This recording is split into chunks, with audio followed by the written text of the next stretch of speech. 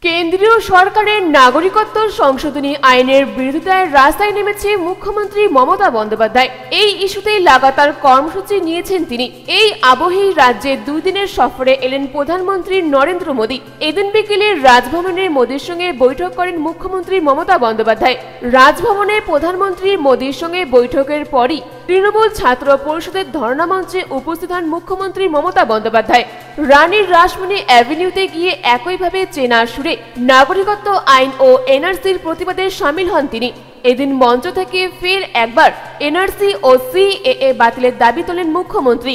জানালেন, নাগরিকত্ব বিল কার্যকর করার যে বিজ্ঞপ্তি জারি করা হয়েছে সেটা শুধু খাতা কলমেই থাকবে। মানুষ না চাইলে তা কার্যকর হবে না। এই আইন অসাংবিধানিক, অমানবিক। মুখ্যমন্ত্রী বলেন, আমরা বাংলা থেকে প্রতিবাদ শুরু করেছি। এনআরসি ও সিএএ নিয়ে প্রথম বাংলা থেকে আন্দোলন শুরু হয়েছে। আর সেই বাংলা থেকে আমরা দেখিয়ে দেব যে আমরাও পারি।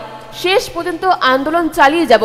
উল্লেখ্য, গত শুক্রবারই কেন্দ্রের তরফ থেকে এক বিজ্ঞপ্তি জারি করা হয়েছে এনআরসি নিয়ে। এদিন ধর্ণা মঞ্চে সেই বিজ্ঞপ্তির ওপর লাল দাগ দিয়ে কেটে দিয়ে মুখ্যমন্ত্রী এই নয়া নাগরিকত্ব আইন ও জাতীয় নাগরিকপঞ্জি বাতিলের ডাক দেন।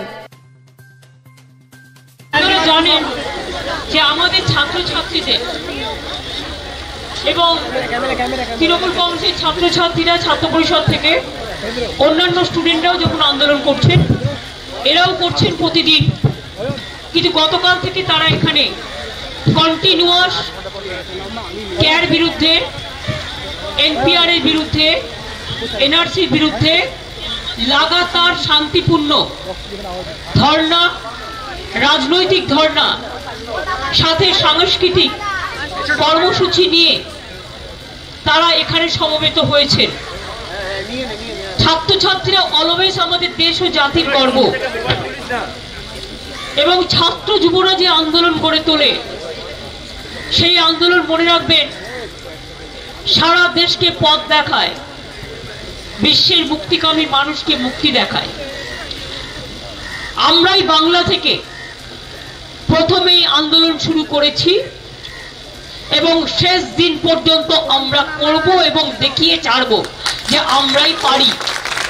আমি এখনও মনে করি গতকাল জেদ করে কেন্দ্রীয় সরকার যে নোটিফিকেশন ডিক্লেয়ার করেছিল ওটা কাগজে কলমেই থাকবে, ওটা কাজে লাগু হবে না।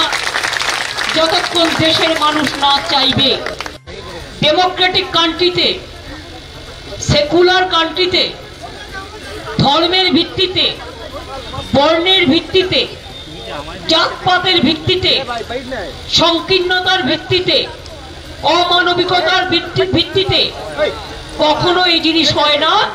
এটা অসাংবিধানিক এটা অমানবিক এটা বেঠিক এটা বেলাইন এটা আইনি নয় এটা বেআইনি বলে আমরা মনে করি। কিছু ক্ষমতায় মেজরিটি আছে বলে যা ইচ্ছে করব এটা মেনে নেওয়া কখনো গণতান্ত্রিক রাষ্ট্রে যায় না। আমরা মানছি না। अगर ये अच्छा ही इतना होता तो असम पे आपका बीजेपी का राज है, क्यों नहीं किया? नॉर्थ ईस्टर्न में क्यों नहीं किया? त्रिपुरा में क्यों नहीं किया? बंगाल क्या बहुत बड़ी सुविधा है? चीफ है? मिलता है बातों बातों में बंगाल को मारना, बिहार को मारना, यूपी को मारना। हमारे इधर में तो शांति में मूवमेंट होता है। जो गड़बड़ करता है बीजेपी का साथ मिलकर वायलेंस करता है, हम उसको खिलाफ में है, हम उसको कोई सपोर्ट नहीं करेंगे।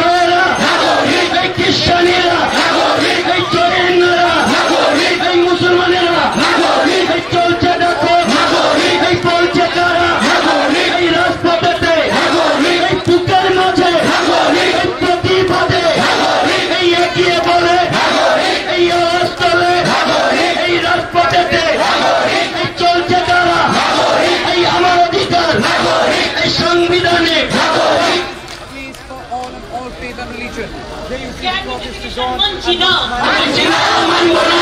কেন নোটিফিকেশন মানছি না? মানছি না।